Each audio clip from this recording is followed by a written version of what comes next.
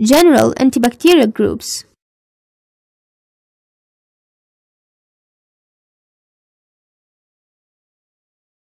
Naturally, the bacterial cell consists of an outer cell wall that envelopes all bacterial components.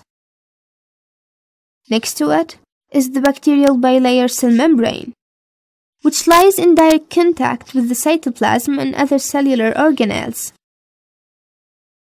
Bacterial cells have their own double DNA strands.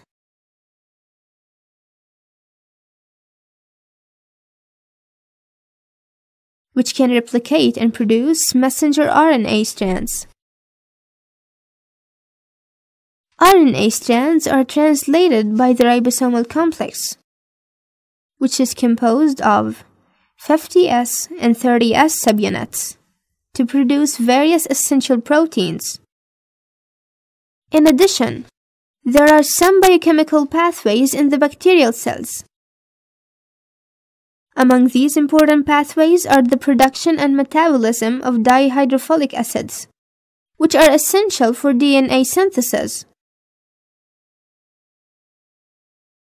In general, the antibacterial groups can disturb various bacterial essential structures.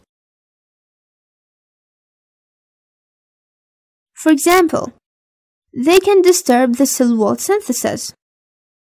The cell wall inhibitors include the beta-lactams antibiotics such as penicillins, cephalosporins, carbapenems, and monobactam groups. Non-beta-lactam cell wall inhibitors include vancomycin and daptomycin. Away from antituberculosis, the cell membrane is not a popular target for antibacterial drugs. In contrast, DNA synthesis and replication became a popular target for antibacterial agents. Among the important DNA replication inhibitors is the fluoroquinolone group, which is a large family that includes ciprofloxacin, ofloxacin, and levofloxacin.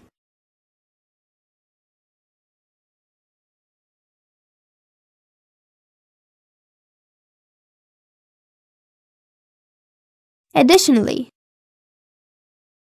some drugs interfere with mRNA synthesis through the inhibition of DNA-dependent RNA polymerase enzyme.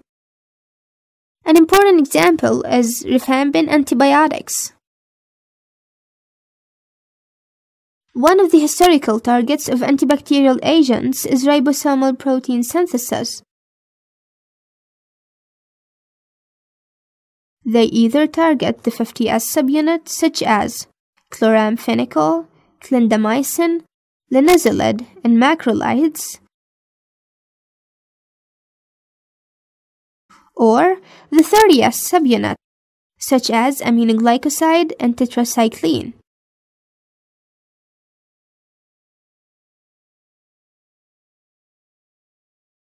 Folic acid synthesis and metabolism is another important target.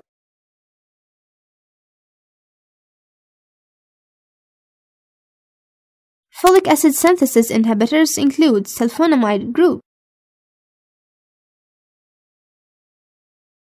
whereas folic acid metabolism inhibitors include trimethoprim.